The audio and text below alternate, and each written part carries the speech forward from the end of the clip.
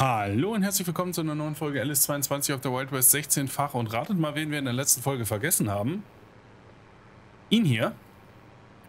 Der ist auch schon fast da, der hing an der Brücke. Deswegen hat er auch keine Nachricht geschmissen. Ich gucke mal, ob der jetzt hier sauber runterkommt. Sieht ganz gut aus. Das Mineralfutter, Kraftfutter, wie auch immer, ist angekommen. Dann kann der erstmal weg. Und der fährt noch. Das sieht alles tiptop aus hier. Das ist unser kleiner Hoftrecker. Den fahre ich jetzt mal schnell dahin, wo er hingehört. Und dann ist hier nämlich langsam, dann können wir das hier nochmal wegsortieren. Dann ist hier langsam mal wieder Platz auf dem Hof. Und ich überlege, ob wir dann direkt nochmal schnell eine Halle setzen. Ich glaube, das könnte Sinn machen. Nach vorne gucken beim Fahren übrigens auch. So. Okay. Mist haben wir schon einmal gefahren. Die Zuckergrübenschnitzel-Geschichte. Wo hängt der Torion? Äh, der, der B190. Der ist weit gekommen. Das muss man ihm lassen. Oh, und der hat sogar so ein Ding umgefahren. Schäme dich.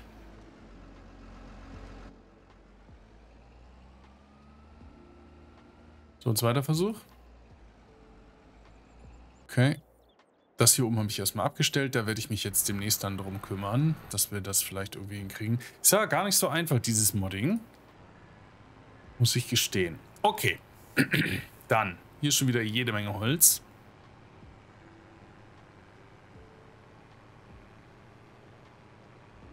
Ich möchte aber... Pass mal auf. Ich möchte aber auch noch mit den... Das heißt, so weit wie möglich. Dass man da, ich denke aber, es könnte sich ausgehen. Das noch ein bisschen weiter, sehr schön. Der steht da ganz gut. Ja. Äh, den ab. Dann fahren wir dich hier erstmal aus dem Weg.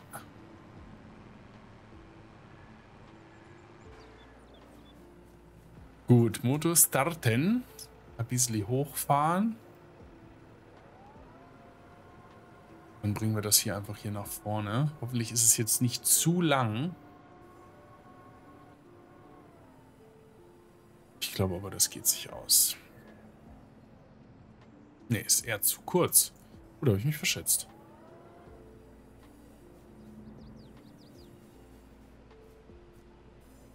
So, den hätte ich nämlich gerne hier. Fangen wir mal von der Seite aus an. Dann Motor an. Hopp.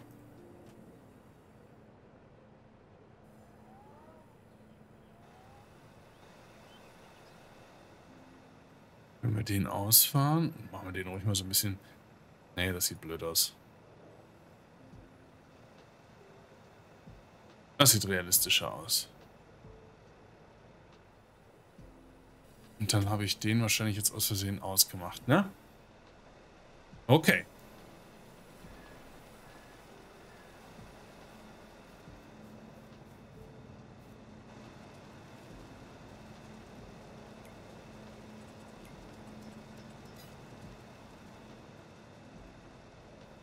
Förderbänder sind super. Ist einfach so.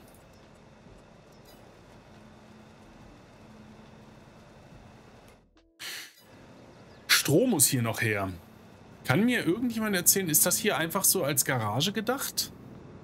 Weil hier soll ja anscheinend nichts untergestellt werden. Da hätte man das doch auch alles so ein kleines bisschen anders machen können. Schnitzel füllt sich langsam auf. Stroh brauchen wir auch. Ja, hier ist ja die, die Kapazität. Ich glaube, die werde ich von Hand mal ein bisschen hochstellen. Schaut mir das gerade mal an. Wenigsten, weiß ich nicht. Also mehr als es geht, wir haben es ja ausgerechnet im Livestream, genau einen Tag hält das. Das ist mir zu stressig auf der Karte sowieso. Also Biomasse, Kraftwerk. Das müssen wir mal erhöhen. Keine Ahnung. Zehnfach ungefähr. Das bin ich immer davon genervt werden. Das ist ja auch fürs, fürs Spielen dann immer und ewig das Gleiche.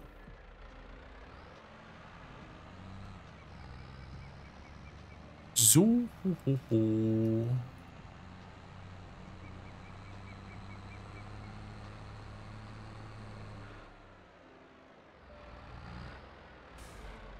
Okay.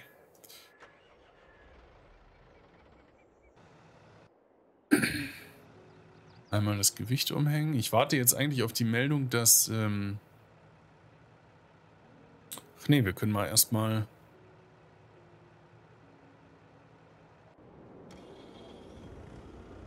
Nochmal in der Bäckerei knust.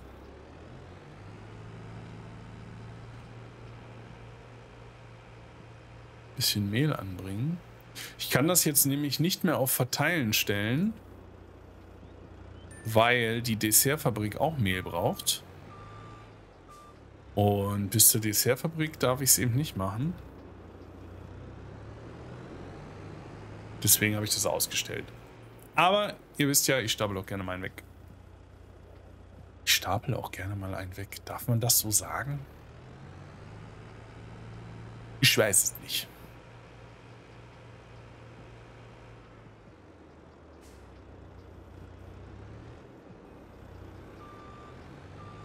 So, und ich definiere mich ja nach klassischer Rollenbeschreibung noch als Mann. Dein Mann würde lieber riskieren, alles fallen zu lassen, als zweimal zu laufen. Also stapel ich das selbstverständlich hier erstmal alles ein bisschen aufeinander und nehme es dann auf einmal mit.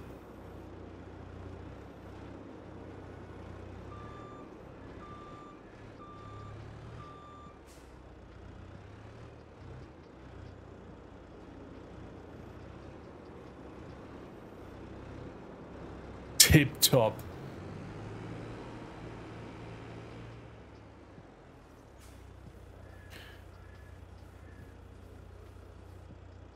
So. Und jetzt ist es nämlich so, schaut mal, dadurch, dass wir die Bäckerei so aufgepimpt haben, verbrauchen wir jetzt tatsächlich unser Mehl. Das bedeutet wiederum, mit der Dessertfabrik brauchen wir mehr Mehl. Und das kriegen wir wiederum mit einem Hafer und einem Sorghumfeld. Ist angekommen, was ein Timing.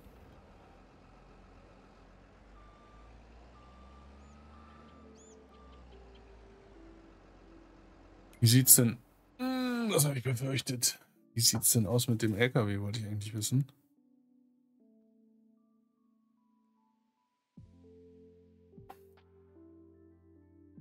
Ähm.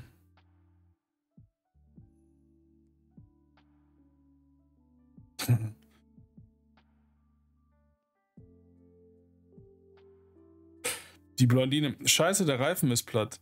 Äh, die blonde Freundin ganz platt. Nee, sagt die erste Blondine. Nee, nur unten. ja. Die restlichen kann ich schon wieder alle nicht. Ah, da ist einer. Uh, der ist ganz schlecht. Den lese ich, den lese ich beim nächsten Mal vor. Ja, könnt ihr euch schon mal freuen.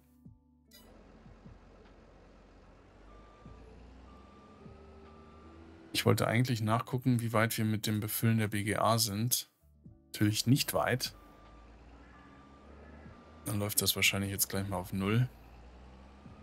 Dieses Jahr werden wir kein Heu produzieren. Wir haben genug Heu. Wir werden beide Grasfelder für Silage nehmen. Das wird uns auch einen guten Schritt nach vorne bringen.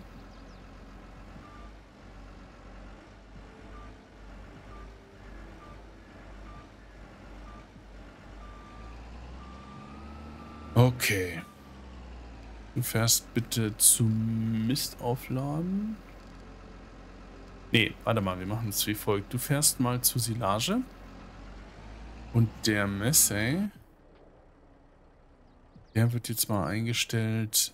Q Mist aufladen. Und M Mist. Dann können wir dann, glaube ich, nämlich ein, zwei LKW-Ladungen nochmal wegschaffen und dann ist nur noch dieser Mistposten überhaupt, dieser Mistposten. Dann kann ich ein bisschen was wegparken. Das ist unser Kalkstreuer. Hier würde mir jetzt, ich habe es schon so oft gesagt, einfach, wie viele Liter Kalk hat der schon verstreut? Ganz einfache Frage.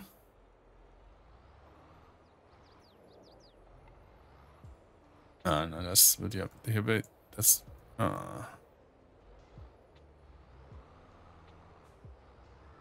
Na.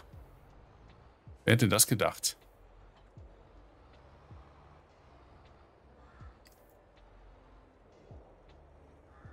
So, wollen wir mal schauen. Also, hier raus komme ich ganz bequem. Rein, dafür brauche ich aber ein bisschen Platz. Die Frage ist natürlich, muss ich mit den ganz langen Sachen wirklich hier reinfahren oder kann ich das nicht auch hier machen? Der kann nochmal in die große Halle, mit denen kommt man eigentlich ganz gut hin. Das heißt, so allzu viel Platz müsste man hier gar nicht lassen. Ich könnte mir aber auch vorstellen, weil wir diesen Platz hier haben, ich meine, wir müssten... Wir müssten diese amerikanische Flagge vielleicht entfernen. Was wahrscheinlich dann wiederum nur mit dem Editor geht. Aber ich habe gerade überlegt, ob man sich einfach... Also so eine würde ich ganz, würde ich cool finden. Irgendwie. Mal eine Halle. Aber wir könnten natürlich auch so eine... Na gut, die würde ja trotzdem irgendwie gehen, ne? Okay, die kostet jetzt aus Versehen über eine halbe Million. Dann die vielleicht... Theoretisch würde sogar das passen, aber... Das passt halt nicht hier hin. Würde mir nicht so gut gefallen. Was ist mit... Ja, das... Aber wir haben noch überhaupt keine Halle. Ah, die finde ich wiederum nicht so cool. Die finde ich wiederum sehr cool. Würde auch ein bisschen zum Thema passen. So. Hm. Die ist auch sehr cool. Die ist von innen mehr so hallig. Würde aber noch mal mit dem Anbau hier sehr cool aussehen. Die hier stünde. Oder? Wir können natürlich auch erstmal einen noch hier hinsetzen. Das würde uns auch schon sehr viel bringen. Da müssten wir nur diesen einen Baum entfernen. Das können wir machen. Aber hier noch irgendein Träger mit Potentia rumstehen.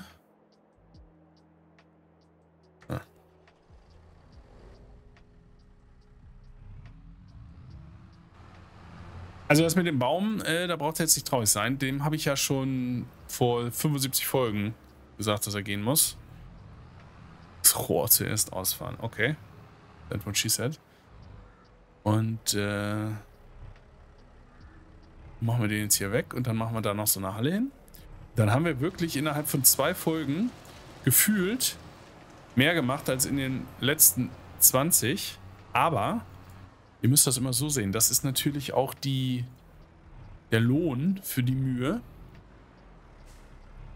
Ich bräuchte nur noch mal, da muss ich gleich noch mal gucken, irgend so eine Halle, wo wir diesen ganzen Kleinkram hier so reinstellen können. Hier sowas und sowas und sowas und die ganzen Trecker. Das, da fehlt mir irgendwie noch was. Ist ja das vielleicht gar nicht so das Richtige, aber was wäre denn das Richtige? So eine, wollen wir die dann einfach vollrümpeln, dann kommt man überhaupt nichts ran. Ja, so eine, ne? Ah, das würde schon, würde schon. Und die große Hörmann hier. Da dann Trecker rein und zum Teil so kleine Anbaugeräte. Oder hier nochmal so eine und da sind wirklich die Sachen rein, die wir nicht so oft brauchen. Zwei vielleicht davon. So würde ich, das würde ich auch. Das würde ich ja auch sehen, ne? Dann hier, weil da kommt ja jetzt erst noch das. Da kommt jetzt erstmal noch die hin. Oder kann ich mich genau hier dran ausrichten?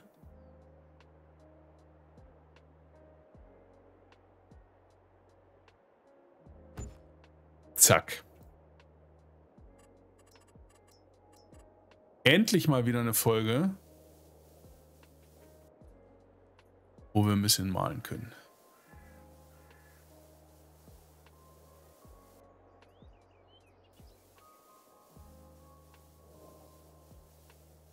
Und das mache ich jetzt mal mit Absicht.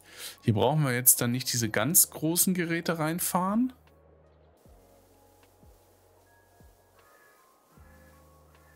Sondern die etwas kleineren und die, die wirklich so mehr Schwung brauchen. Dann nehmen wir die andere. Ich lasse das auch bewusst mal ein bisschen so. Was mir jetzt fehlen würde, wäre hier ein bisschen was. Ich nehme immer die, weil die so schön schlank sind. Aber der ist eigentlich auch okay. Wir da mal zwei von.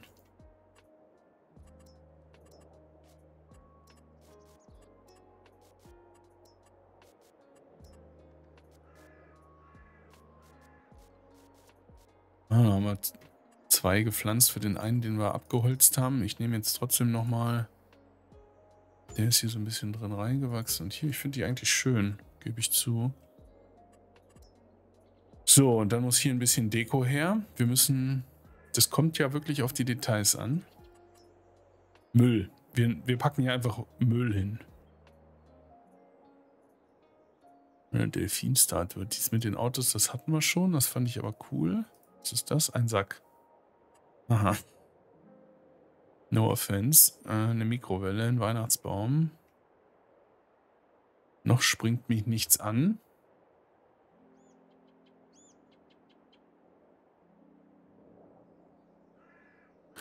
Also ein Wagenrad geht eigentlich immer. Das können wir schon mal machen. Und hier steht eine Bank. Oh. Kosten eines Busches. Parkplätze. Ja, genau.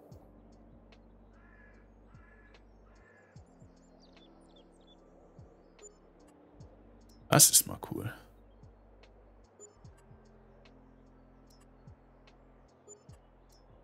So ein Ding hätte ich ja wohl auch gern, ne?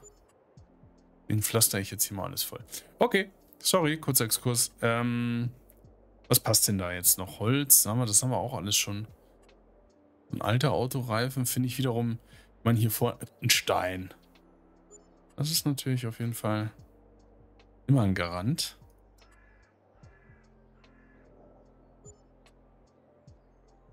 Ja, wir hatten noch andere Steine, ne? Eine Eistruhe, eine Milchkanne, eine Parkuhr. Ist ja nicht so, dass ich nicht auch Deko hätte, aber...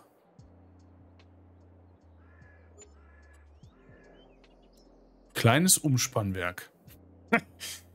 hm. Ja, das ist doch ganz cool. Oh ja.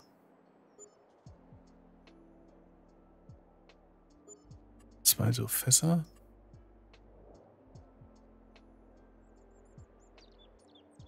Hier ist ein bisschen Holz. Ich und mein.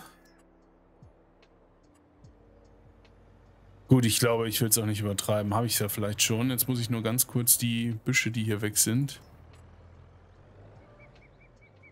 Er fährt sich auch ein zurecht.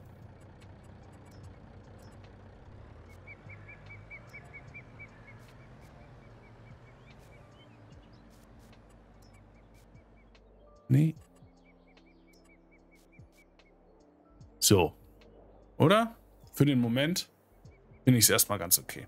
So, dann haben wir hier noch eine Halle. Sehr cool, finde ich. Können wir hier ein bisschen aufräumen. Ja, okay.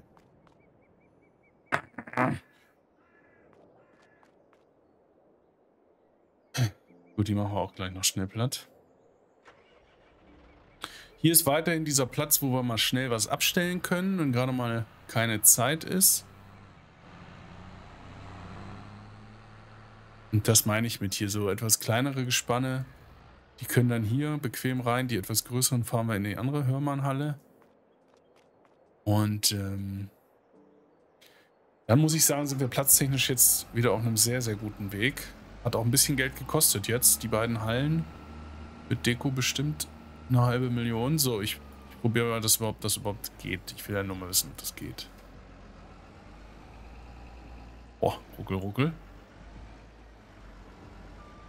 So, und bevor sich jetzt einer wundert, ja, in dieser Schaufel habe ich quasi das Gewicht deaktiviert. Die ist auch größer gemacht. Angepasst hier auf die Map. Eine der kleinen, wenigen Ausnahmen. Also sonst habe ich nichts geändert, bis auf einige ähm, Lagergrößen der Produktion. Das hier ist die einzige das einzige Fahrzeug, was gemoddet ist. Also diese Schaufel, nicht, nicht mal ein Fahrzeug, sondern nur diese Schaufel. Hier ist es auch wirklich cool. Gefällt mir auch. Hier ist auch richtig was los. Jetzt brauchen wir mit den Hühnern. Dann müssen wir hier so den Weg zu den Hühnern machen wir so ein bisschen. Jetzt muss ich mal gucken. Da muss ich diesen neuen Rundpinsel einsetzen, von dem ich gestern gelernt habe. Okay. Ich würde jetzt folgendes vorschlagen. Hm, baue jetzt das Gewicht nach hinten an. Und dann würde ich vorschlagen, beenden wir die Folge. Und in der nächsten Folge gehen wir in den Februar, werden unsere Baumwolle einpflanzen, werden noch ein bisschen was verkaufen im Februar. Auf jeden Fall das Holz hier. So, jetzt wollte ich den schon anhängen, aber das macht ja überhaupt keinen Sinn. Das hier wird im März verkauft. Und dann haben wir auf jeden Fall genug Geld für ein neues Feld. Und dann haben wir wirklich wieder viele neue Sachen. Wir haben das neue Maisfeld. Wir haben die neuen Hallen. Äh, ja gut, neue Trecker haben wir erstmal nicht. Aber wir haben die zwei Drescher, den haben wir ja auch noch nicht so lange, den zweiten. Und ähm, nach dem Feld, glaube ich, spare ich auf den zweiten Häcksler. Ihr könnt mir gerne mal in die Kommentare schreiben, ob ich den ähm, Kompaktlader kaufen soll. Ich weiß aber natürlich nicht, kann der hinten noch ein Gewicht anhängen? Nee, ne? Könnte natürlich sein, dass der der sowieso nicht. Ja. Wenn wir den irgendwie konfigurieren, dass der hinten ein Gewicht dran hat. Sieht erstmal nicht so aus. Ähm, wahrscheinlich kann nur dieser Trecker oder ein Trecker in der Größe zwei von diesen Wänden hier aufladen. Dann müssen wir es weiter mit dem machen. Aber eigentlich brauchen wir den auf, im Haupthof. Also hier muss irgendwas anderes hin. Aber der kleine Torion, der schafft überhaupt nichts. Der ist hier nur, das ist hier wie so sein Gnadenhof. So, vorwärts fahren wir schön.